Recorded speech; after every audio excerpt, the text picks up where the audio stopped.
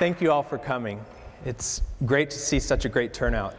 Um, so, I'm an MD PhD student, and my job is to use science to advance medicine. And I really love what I do. And that can actually create some awkward moments. Let me explain. Whenever I meet someone new and they ask what I do, I have a hard time containing my enthusiasm. And when you study pain, it can create some awkward moments. So it, when I start talking about pain with a big grin on my face, it throws people off. And the response I get is often awkward silence or confusion. And that's understandable because pain is no laughing matter.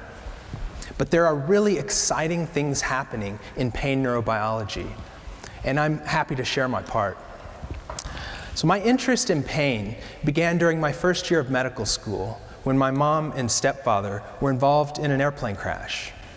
They were critically injured, but made a remarkable recovery and are here in the audience today.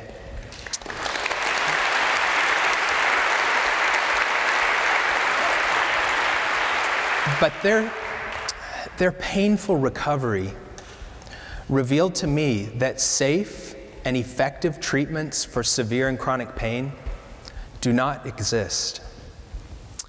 What they needed for their pain was a magic bullet, a drug that affects its target without unwanted side effects. So, for my PhD work, I joined Clifford Woolf's lab at Boston Children's Hospital, looking for a magic bullet for pain. When you're in pain, nothing else matters. C.S. Lewis put it this way pain insists upon being attended to. So perhaps it's no wonder that pain is the main reason that people go to the doctor worldwide. And pain is also a huge economic burden. The cost of pain to the US economy is over $600 billion every single year. That's more than the cost of cancer, heart disease, and diabetes combined. There's got to be a better way, a smarter way to treat pain. Current drugs that treat pain, like Tylenol and morphine, don't work that well for people with chronic or severe pain. In fact, doctors typically have to treat three patients with these drugs before finding one who reports even a 50% reduction in their pain. Never mind that opioid drugs like morphine cause devastating addiction. Now, there is one drug that can stop pain signals before the brain ever perceives them local anesthetics. These drugs, like lidocaine, are the numbing agents used for dental procedures. In order for local anesthetics to block nerve signals, they must first enter the nerve fiber. The signals here are represented by pulses of light. But for the local anesthetics to enter the nerve fiber, they first must pass through the membrane to block the signal from inside the nerve. The problem is that they enter all the nerves at once, causing numbness and paralysis in the area treated. And since local anesthetics pass out of the nerve as quickly as they get in, the signals soon return along with the pain.